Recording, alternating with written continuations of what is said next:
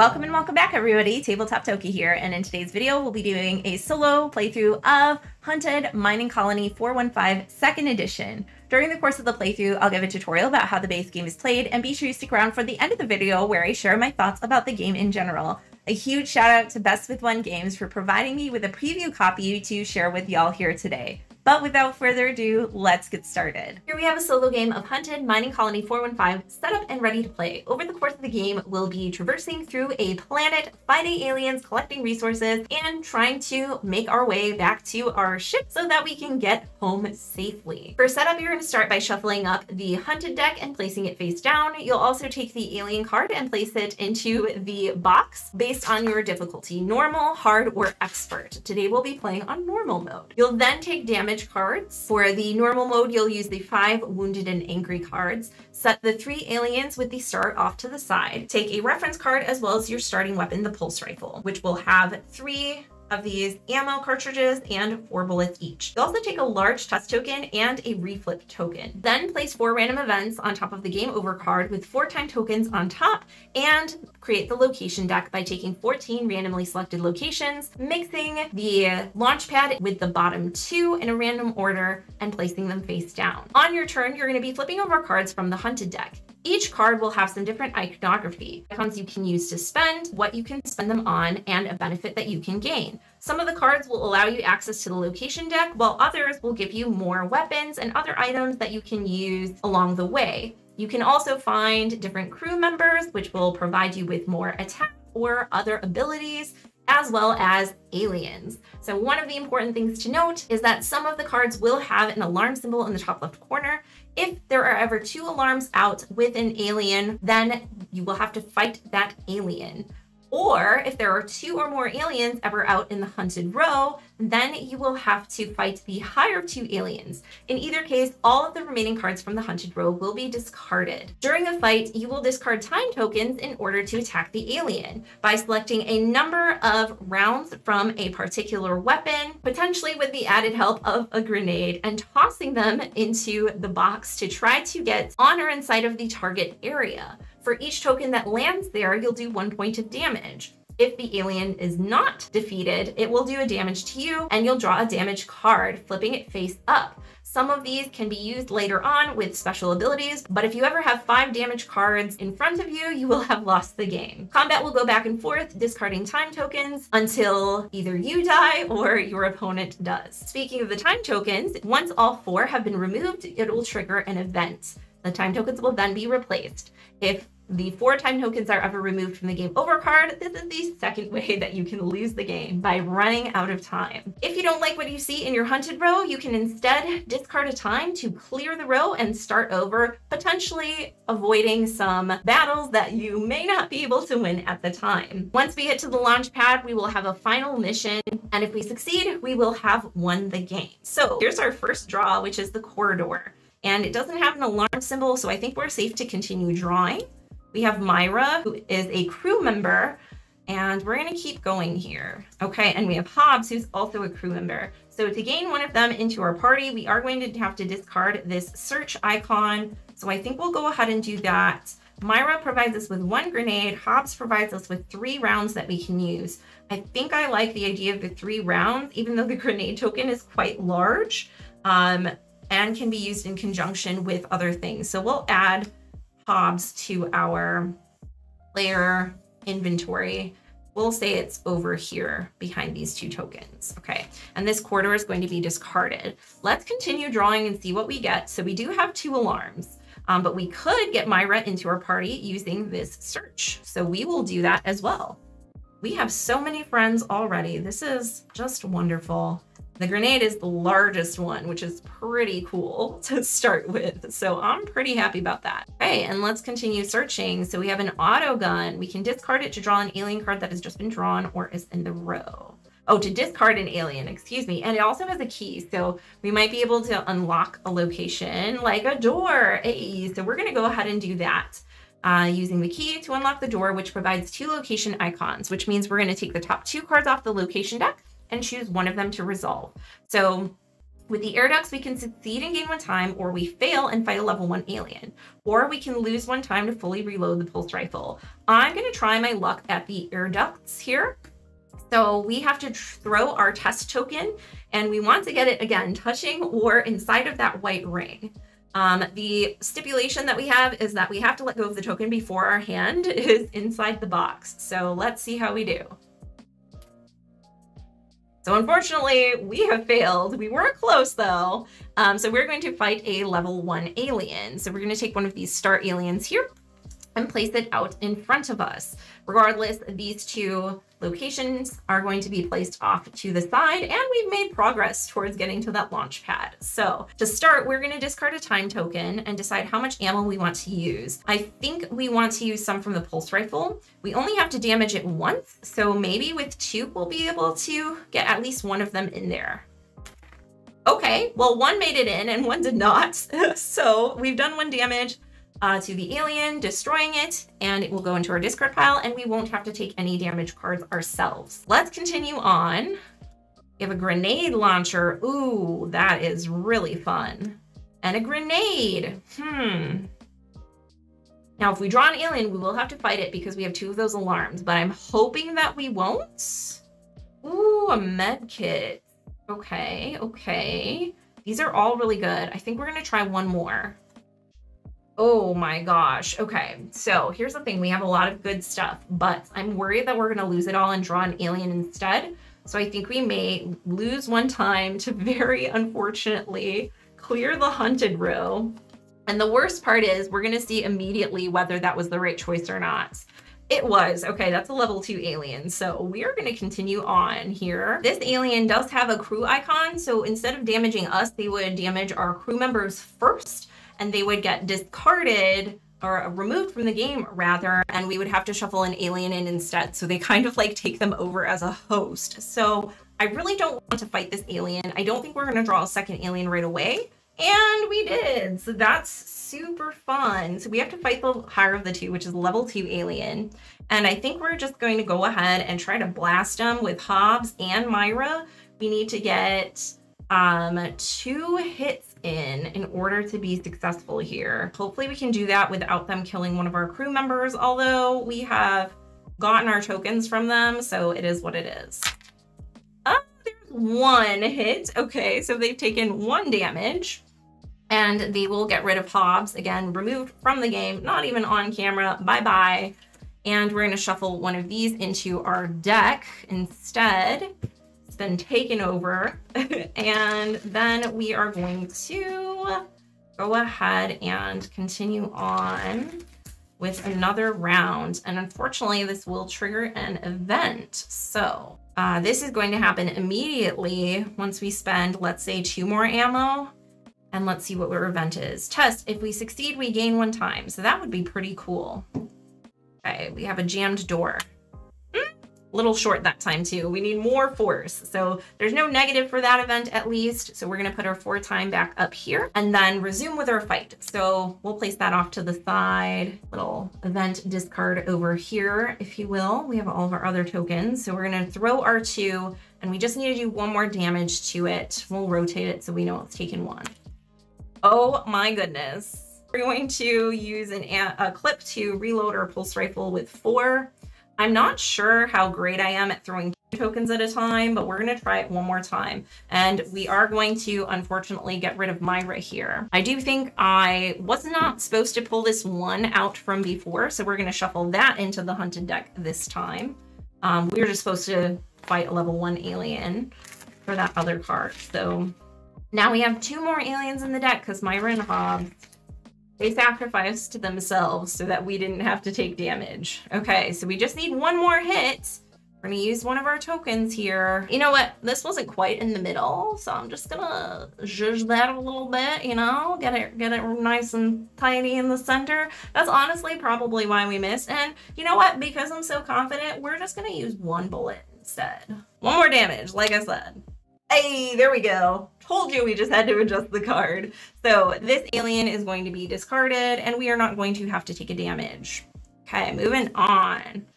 We have a level one alien, easy peasy. We have some ammo, which would be really good, and another level one alien. Hey, it's Hobbs. I remember you. So let's go ahead and fight this alien. These get discarded. We're going to discard a time token. I think we only need the one. What do you think? okay. Right in the mm, that was not it. So we take our first damage card, which is automatically gain one success. I think we'll use that. That seems fair. So this alien is gone um, which means that we do not have to spend more time, which is fine by me, or more ammo. All right, and we have a level one alien, beautiful. We have a corridor, I'm gonna keep going. We have one alarm and ammo, discard to gain one. Yeah, so we're gonna use the corridor, the search icon to get ammo. Um, and I think we're just going to discard it right now, why wouldn't we? Gain that. So let's keep going. We have an alarm. We really need to get locations. Okay, we have a level two alien that we have to fight now. We have to try to get two damage in. So let's spend two. Okay, maybe if we go like a little bit like one of those, you know? Nope, you guys saw I practiced beforehand. So we're gonna take a damage.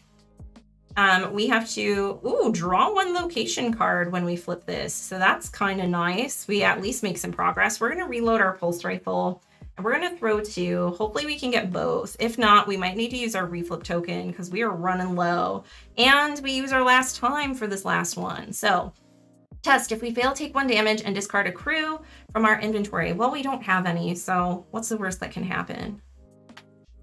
Whoa, good. Oh, take another damage. That's fine. Retoss any number of tokens we just tossed. Hey, we get a retoss. At least there's that. Um, so this will be gone and we'll restack our events. We have two ammo that we're trying to hit with. Uh, let's see how that goes. There's one. Do we want to use a retoss? Because I don't want to use more time. So let's retoss any number of tokens we just tossed. So let's do that one like that. Is it on? I think it, that is on the line because it's touching it.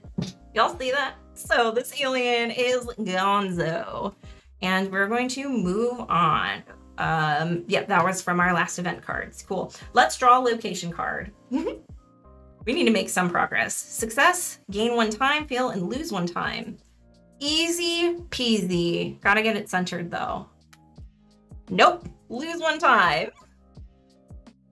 All right, so let's keep going here.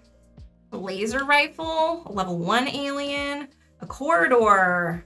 We're gonna trade in this, we're running low on our pulse rifle. The laser rifle also has these cool little laser tokens, which is pretty fun, but I think we need to make progress. Actually, neither of these have we just got to make progress when we can because if we draw another alien, we are toast. And that's one location. So sewer, draw three cards. If one of them is an alien, it attacks you. Shuffle all non-alien cards back into the deck. All right, no aliens there. So these will get shuffled in. Um, and the sewer is complete. So let's go ahead and shuffle those. We're more than halfway through the deck here. looking pretty thin. Um, I'm not sure of the distribution of aliens. That might be a cool meta thing to know, but I don't. Let's keep going. Okay, we have a door and a corridor. So we are fighting a level one alien. Yikes. All right, we should have cleared it beforehand and then we would have gotten two locations, but that's fine. I'm just gonna use one. I feel pretty confident. Um, and we have a retoss, so Let's see. I dropped it before I'd even got near the box. Hey, there we go. That's what I'm talking about. I was just playing before. I actually know how to toss tokens, y'all. Okay, let's keep going. Corridor. Medkit. Ooh, discard to lose one time and gain a health. That might be helpful, but I'm going to see if we can get this corridor instead. A level 3 alien. Very cool. I'm going to take the medkit using this and then we're gonna lose a time to just clear this because I don't want to fight a level three alien. okay, we have a flamethrower. Not bad. And a corridor. Ooh, if that was a key for two, that would have been great. We're gonna keep going. Ooh, Terrence, what up? He has a key, mm, but that's not helpful. Do we keep going? I don't think there's gonna be another alien. A door. Okay, so now we can use the key to unlock the door to get two, and we remove two alarms, which is really good. So let's see, maybe we'll get a really good one that helps us out. Draw five cards. This one is an alien, it attacks you. Shuffle non-aliens back into the deck. This one is a grenade. Ooh, so I would rather get a grenade than fight an alien. I don't know about y'all. We're gonna try that out. So one, two, three, four, five. Okay. Ooh, we would have level two aliens next. And we do get a grenade. What up? All the non-grenades are gonna go back in. So we're gonna take that like so, shuffle these up, and then we're good to go. So we know that there's at least a level two alien in here because we just saw it, but we don't have two alarms and we don't have any aliens yet, so we can continue drawing as desired.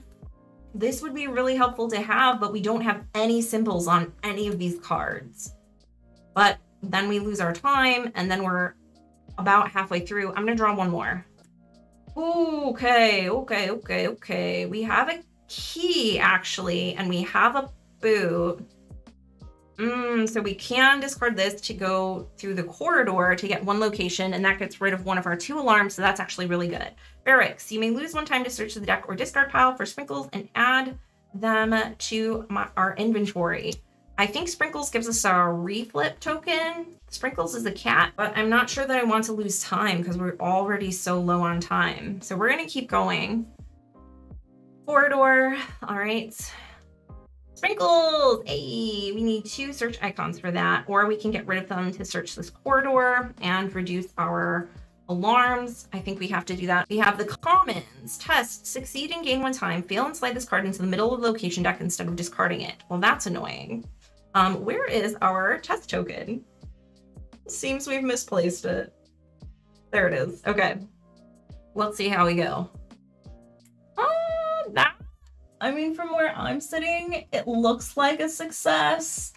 It might not be, but from here, it was touching the line. So we're gonna take that as a success and keep moving along here. All right, we have motion detector. Discard to draw three cards. If any of them are aliens, discard them. Interesting, but it doesn't help us. We need search symbols. Ay, ay, ay. Let's keep going. Why not? Uh, there's a lot of alarms. Corridor. Okay, we're gonna get this corridor with this boot. Laboratory. You may lose one time to draw until you find an alien card. Discard it from the game and reshuffle. Sure. I'm fine with that. So we get an event immediately first. Test, fail and take one damage, and discard a crew from our inventory. We don't have any, so that's fine with me. Oh, that was a big whiff. I mean, it was close, you know, it was close, but like, not great. So we have to take a damage and discard a crew. We don't have one. So this is discard a card from the row, but we still have our med kit, which is pretty nice. Um, so we are going to do this, which is draw until we find an alien card. There it is. It is discarded from the game. Level two alien. Get out of here. Off of those crew cards that we also don't know where they went. Okay, and we're gonna keep going, I think. Okay, a corridor. Awesome. And we have two alarms. We did get rid of level two, so maybe we're all right. Oh, baby. Okay, where's that key? Yeah, yeah, yeah, yeah, yeah. Or we can use these two to discard an alien that's just been drawn. That's also pretty good, but like two locations? Pretty sick. We could use the key off the corridor and leave the auto gun out. Let's do that and get two locations because we really need to get moving here, I think. Okay, we have a broken bridge, which is a test. Fail and take a damage and discard a crew, or we can lose one time to heal two health. I think that that is a brilliant idea. So we're going to lose one time, which should have been on there before, to heal two health. So we're going to choose any of the damage cards from in front of us and put them to the bottom of the deck. Um, I really like the location card one, and I really like the automatic success. So we're going to put those on the bottom, like so um, that really saves us because we were one damage away from just straight up losing. And we could also, we still have our med kit as well if need be, uh, but we're fine for now. So we're gonna keep going. Okay, we have another one of these. Let's just use the auto gun to search this door. Um, so we got two locations. Okay, control center, draw the top 300 cards, discard one, place one on the bottom of that, place one on the top. That's pretty nice. And the landing pad, well, that's the one we have to do. So we're gonna fight the alien queen who has three health. If we defeat her, we escape and win. Apologies, like my um, webcam decided to stop working. Uh, so here we have the landing pad. We're gonna toss the grenade and ammo. Maybe do like a little, maybe they'll stay and they'll both get inside of there? Question mark. Um, let's see. Oh, that was close. I'm gonna use my retoss because I don't want to waste a whole grenade. That was a little heftier, so we gotta use a little more force. Hey, there's one damage. Okay, so we'll rotate once. Um, so the grenade is gone. And then they're gonna do a damage to us. So we draw one of these. We gain um, an ammo for a pulse rifle. That's fine with me because we'll then spend it to get four back. We're gonna just throw all four because why not, right? This is what it's all about. So that's gonna clear. We're gonna use this. And uh, eh, that was there too. Okay, two damage. We take another damage. If we take one more, we lose. But I know what's coming up, which is the auto success card that we had stored from before. So we are going to automatically gain one success, which is three, which means we have won the game. So there you have it. That is a solo playthrough of Hunted Mining Colony 415. This second edition really expands upon the original Hunted Mining Colony, of which I was a huge fan. I really love dexterity games, and I think it's unique that instead of in this game where you're doing balancing or flicking, that you are tossing your tokens. Now, hold up, if you're not a big fan of dexterity, it's okay because the second edition includes rules for a non-dexterity version where you use a card system to see whether your wagers were successful or not. That being said, I think the progression of this game is really interesting and challenging that push your luck of when to hide and reset the deck at the penalty of time versus taking on actual battles, whether you're trying to collect certain items to help you or just get through the location deck as quickly as possible. There are a lot of really interesting decisions that you can make with this one. I also like the variability of the different items and weapons that you can get, as well as the crew members. So there are some really interesting different strategies and pieces that you can use throughout multiple playthroughs. I also really love the danger cards, which were not present in the original edition, because they allow you to have a little bit of a catch up mechanic and you can actually play and purposefully take damage in order to get those cards, knowing that you can heal them later. So it's a really interesting balance back and forth versus just losing straight damage. The events also make for some interesting more immersive experiences. And again, those weren't present in first edition, so I really like their implementation in the second ed. If you're looking for a really cool dexterity or not a solo experience with a very graphic aesthetic and interesting twists and turns from play to play, then definitely be sure to check out Hunted Mining Colony 415. And that's about all the time we have for today. If you enjoyed this video or found it helpful, please feel free to give a like and subscribe down below if you haven't already. Like, what are you even doing? And while you're down there, let me know, are there other solo dexterity games that you personally enjoy? That's definitely a category of game that I would love to fill out more in my collection and try more of. So I always love hearing y'all's suggestions. Thanks so much as always for being here and I'll see you next next time. Bye.